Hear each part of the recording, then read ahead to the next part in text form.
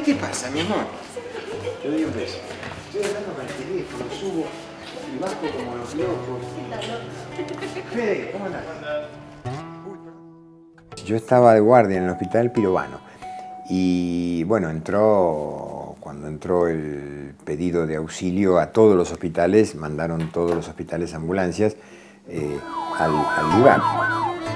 No se puede creer la explosión que acaba de terminar con el edificio central.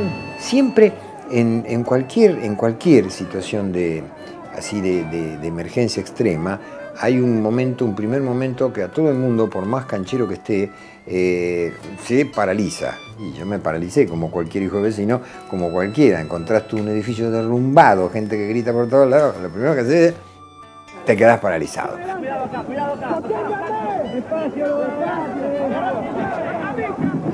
AMIA específicamente, eh, eh, se tardó mucho en evacuar la zona, eh, en evacuar de gente que no tenía nada que hacer ahí. El tipo de trabajo de, esos años, te hablo de la embajada, que fue primero, en el 92, y después de AMIA, fueron trabajos que se hicieron en relación a lo que se hace hoy, a cómo se trabaja hoy, malos. No por mala voluntad ni mala le- leche de nadie, sino porque eh, no se sabía bien cómo manejar esto. Hasta que ahí se empezó, realmente yo siempre le digo a, los, a los- a la gente de la AMIA, de la DAIA, lamentablemente fueron un poco el, eh, el bautismo de fuego, de, cómo se manejó de ahí en más después toda la emergencia, se fue organizando de determinadas cosas, un montón de cosas, desde, desde eh, circar la escena o limitar la escena de- del, hecho en sí, hasta el traslado, la forma, la manera, la evacuación ordenada, el alerta a todos lados,